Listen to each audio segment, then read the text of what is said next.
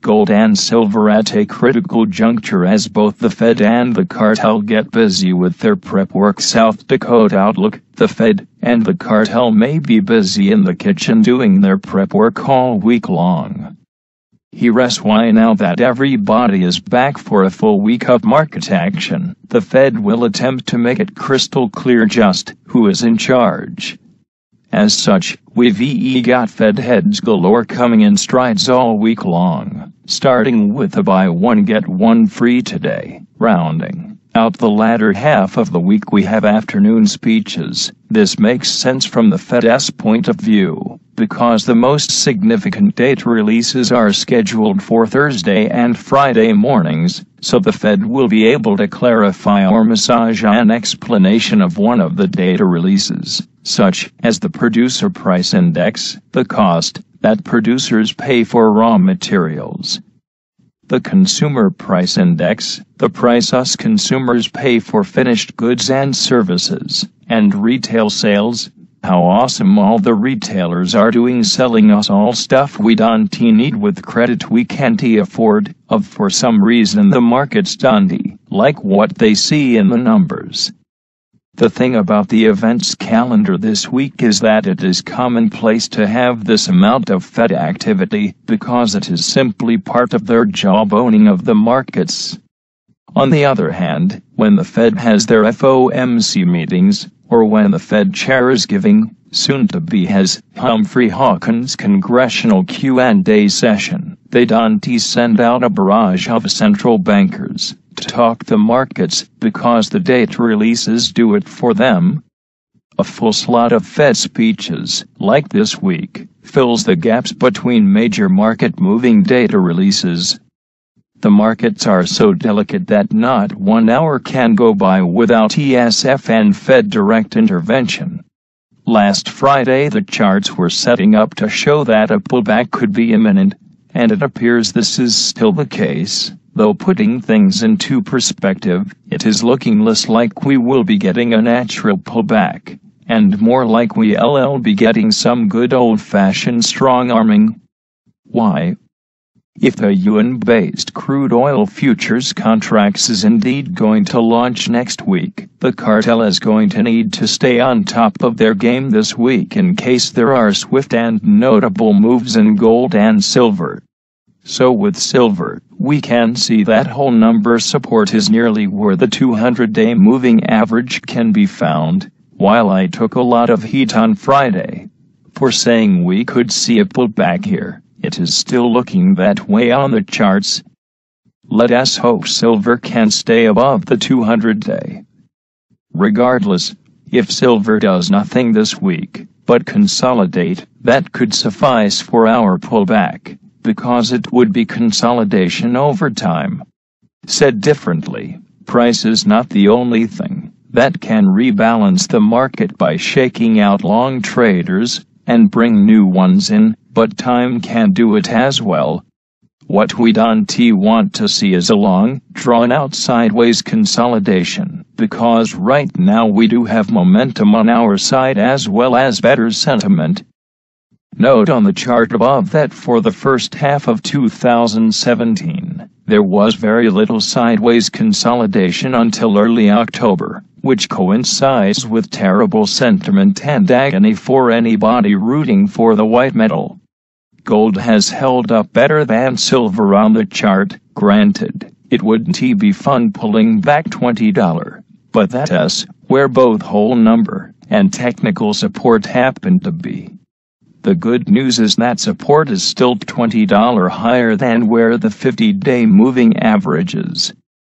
The GSR highlights the last few days of a whole bunch of nothing. In fact, the gold to silver ratio continues to ride the 50-day, and it appears to be riding it in a manner similar to the August to September timeframe, which recall is when gold and silver made their run to their highs of 2017. Let us hope for a similar move again. Platinum shows the nice move from mid-December, which brings up a point that may not have been made last Friday. It is not just me that would say the metals are overbought. Many traders go off of the same technical indicators, or combination of indicators, so anybody who would look at that chart without knowing what the underlying was would say that it is overbought and due for a pullback. Palladium is hanging in there, but the technical indicators are showing the same signs. Those indicators could turn neutral if we get sideways consolidation from here, but, as has been the case with palladium for the last year, it is not unreasonable to say that palladium could be taking a trip back down to the 50-day moving average. You can count at least seven times over the last year when it has done just that. Copper has some support which is above the 50-day moving average, and crude as has been on its most recent run for as long as the metals have. The dollar looks like it is ready to bounce today. That last candlestick is the action overnight and into this morning. If we are staring down either a pullback or a consolidation in the metals, this is what we would expect to see with the dollar. Granted, volatility is still non-existent with the VIX looking to open below 10 again, and, as we have been tracking, the yield on the 10-year looks to have found a new range between 2.4% and 2.5%. Looks like we could be at Dow 26,000 by the end of the week which, if the Fed is selling volatility and buying the indexes, Dow 26,000 would be expected. So what is the overall theme of this week? Don't let your guard down. The cartel will want to do everything they can to force either a pullback or force a sideways consolidation. Next week is both a short week, Martin Luther King Jr. Day, and possibly the start of the Shanghai Chinese yuan denominated oil futures contract. So the cartel will do everything in their power including working overtime this week to complete as much prep work of the markets as they can. Stack accordingly half dollar.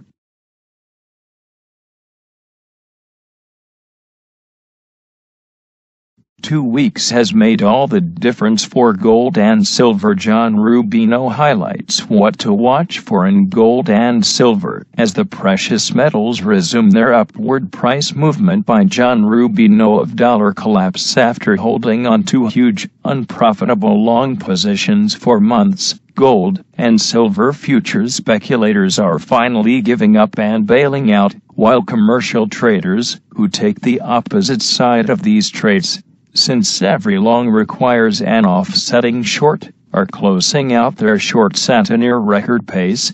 He rests the gold data for last week, courtesy of GoldSeek. Note the massive shift by speculators from long to short. They re not in balance yet, where longs and shorts are equal, but they re heading that way fast.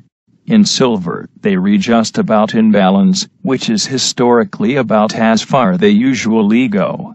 He rests the same data for gold in graphical form with the silver bars representing speculator longs, and the red showing commercial shorts. Note the long plateau followed by a rush to the middle, which is where rallies tend to begin. One more week like the last two would put this indicator in screaming buy territory, but even if this is as far as it goes it is still positive for January which is a seasonally strong time for precious metals in any event. For individual speculators, that means the junior miners are again based on this one indicator pretty good trades for the next few months.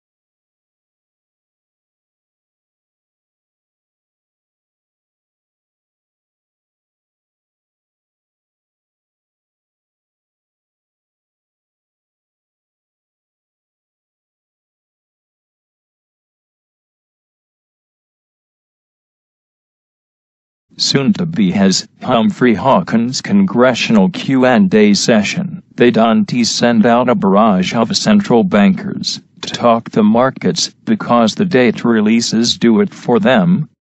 A full slot of Fed speeches, like this week, fills the gaps between major market moving data releases. The markets are so delicate that not one hour can go by without ESF and Fed direct intervention. Last Friday the charts were setting up to show that a pullback could be imminent, and it appears this is still the case, though putting things into perspective, it is looking less like we will be getting a natural pullback, and more like we'll be getting some good old-fashioned strong arming. Why? If the yuan-based crude, so the Fed will be able to clarify or massage an explanation of one of the data releases such as the producer price index, the cost that producers pay for raw materials. The consumer price index, the price us consumers pay for finished goods and services, and retail sales, how awesome all the retailers are doing selling us all stuff we don't need with credit we can't afford, of for some reason the market's dundee, like what they see in the numbers.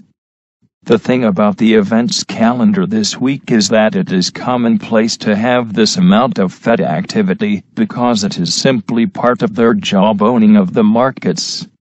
On the other hand, when the Fed has their FOMC meetings, or when the Fed chair is giving, picking out long traders, and bring new ones in, but time can do it as well, what we don't want to see is a long, drawn-out sideways consolidation, because right now we do have momentum on our side as well as better sentiment.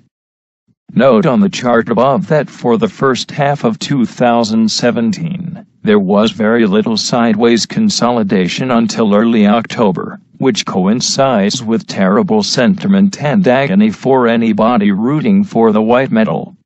Gold has held up better than silver on the chart, granted. It wouldn't be fun pulling back $20, but that's where both whole number and technical support happen to be.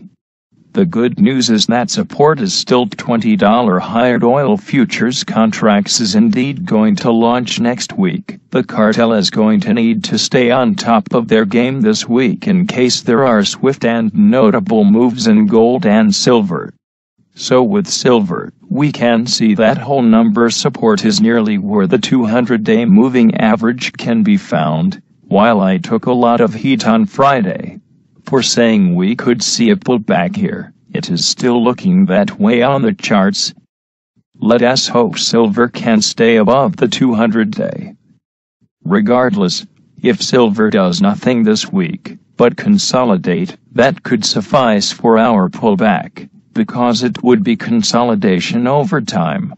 Said differently, price is not the only thing that can rebalance the market by shape.